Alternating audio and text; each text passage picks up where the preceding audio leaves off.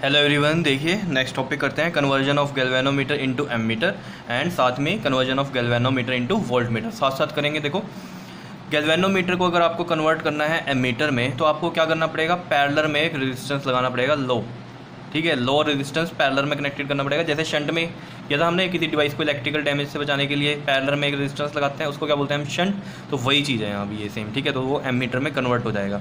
और volt meter में convert अगर करना है तो सीरीज़ में ही हाई रेजिस्टेंस लगाना पड़ेगा गैल्वेनोमीटर के साथ तो वो कन्वर्ट हो जाएगा किसमें वोल्ट मीटर में। चलो इसका डायग्राम समझते हैं। सबसे पहले देखो, अगर गैल्वेनोमीटर को कन्वर्ट करना है तो देखो गैल्वेनोमीटर के लिए मान लो ये है आपके पास गैल्वेनोमीटर और इसका रेजिस्टेंस हो गया जी और इसमें मैं क्या कर रहा हूँ? पैरलर में एक लो रेजिस्टेंस लगा रहा हूँ, ठीक है? पैरलर में लो रेजिस्टेंस लगा रहा हूँ और इसको मैं ऐसे ही नाम दे देता हूँ, क्योंकि शंट की तरह ही काम करेगा ये, क्योंकि पैरलर में लगाया है, ठीक है?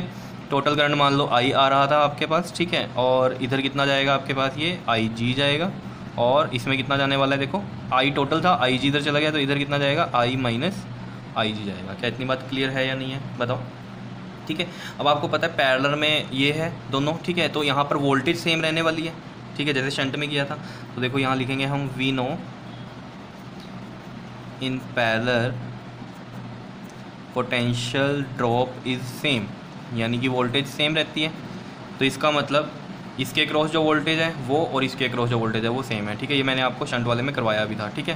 तो इसके क्रॉस जो वोल्टेज बनेगी वोल्टेज का फॉर्मूला क्या होता है? आई आर तो इसके क्रॉस जो वोल्टेज होगी, वो भी आई आर ही होगी। तो आई कौन सा है यहाँ? आई जी है और रेजिस्टेंस जी होगा गैल्वेनोमीटर का इक्वल टू इस वोल्टेज के होगा।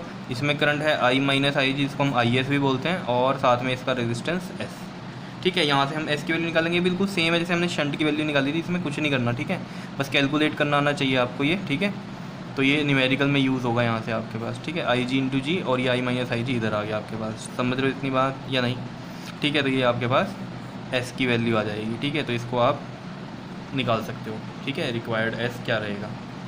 ठीक है, उतना आप इसमें लगा दोगे, ठीक है? ये सब वैल्यूज़ हैं क्या? उन चीज़ों को समझो, क्योंकि न्यूमेरिकल में यही पता होना चाहिए कि ये कौन सी वैल्यूज़ हैं। आई जी क्या है जी क्या है आई क्या है और आई जी क्या है, ये सब यहाँ देखते हैं। देखो एस तो आपको पता है क्या है शंट रिक्वायर्ड जो शंट रेजिस्टेंस ठीक है शंट क्यों बोल रहे हैं, इसको पैडलर में लगा है क्योंकि रेजिस्टेंस और ये लो होगा, ठीक है।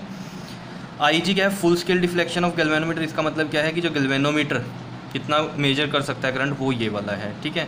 और जी क्या है रेजिस्टेंस ऑफ़ गैल्वेनोमीटर और आई क्या है range of ammeter range of ammeter मतलब कितनी से कितनी रेंज का जैसे मतलब ज़ीरो टू फाइव एम्पियर गए तो फाइव इसका करंट रेंज आ जाएगी इसकी।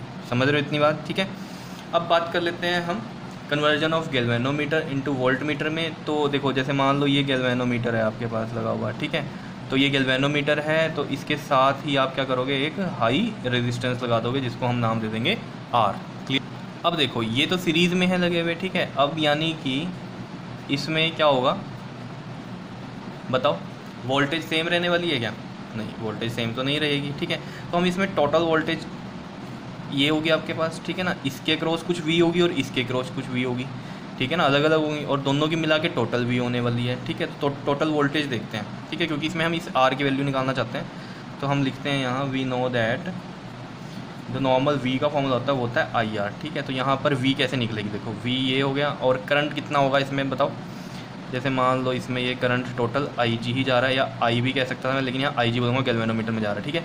अब इसका आई आर करंट नहीं लिखूँगा, जैसे यहाँ आई एस या आई माइनस आई जी था क्यों? क्योंकि तो सीरीज़ में सीरीज़ में करंट सेम रहता है तो जितना करंट इसमें गया, उतना ही इसमें गया।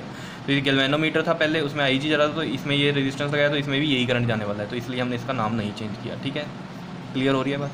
तो करंट हो गया आई जी और रेजिस्टेंस सीरीज़ में रेजिस्टेंस क्या होगा टोटल बताओ ज़रा।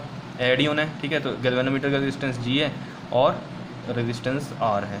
समझ रहे हो ना? सीरीज़ में टोटल रेजिस्टेंस निकाल लेंगे ना हम इसका। टोटल रेजिस्टेंस क्या? ये प्लस ये। क्लियर है इतनी बात या नहीं है? ठीक है, अब हमें किसकी वैल्यू चाहिए यहाँ से? आर की वैल्यू चाहिए। तो आर की वैल्यू निकाल दो। बड़ा ईजी है। देखो वी अपॉन में ये आ जाएगा नीचे आई जी और ये इधर जी प्लस आर और आर यहीं रहने दो। वी अपॉन में आई जी और ये वाला जी इधर जा जाएगा। माइनस का जी ठीक है, ये आ गया आपके पास आर निकालने का फॉर्मूला इसका। ठीक है, यहाँ भी आपको ये सब पता ही है जी क्या है रेजिस्टेंस ऑफ़ गैल्वेनोमीटर आर क्या है रिक्वायर्ड रेजिस्टेंस है जो लगेगा, और वी क्या है हमारे पास रेंज ऑफ़ वोल्ट मीटर ठीक है, जब मान लो ज़ीरो टू फाइव वोल्ट है तो फाइव होगा इसका वी ठीक है। आई जी वही full scale deflection of galvanometer है मतलब कितना करंट मेजर कर सकता है गैल्वेनोमीटर वो वाला है ये, ठीक है। तो बेसिक सी बात आपको क्या याद रखनी है एमीटर में कन्वर्ट करना है तो लो रेजिस्टेंस आपको पैडलर में लगाना पड़ेगा गैल्वेनोमीटर के साथ और अगर वोल्ट मीटर में कन्वर्ट करना है तो हाई रेजिस्टेंस सीरीज़ में लगाना पड़ेगा गैल्वेनोमीटर के साथ। क्लियर है इतनी बात? ठीक है? इसको अच्छे से नोट कर लेना। ठीक है? सिंपल सी कहानी थी लेकिन न्यूमेरिकल इसके आते हैं। ठीक है? तो न्यूमेरिकल करेंगे। तो न्यूमेरिकल में आपको ये और ज़्यादा क्लियर हो जाएगा। ठीक है? इतनी बात या नहीं? ठीक है? Okay ji. Thank you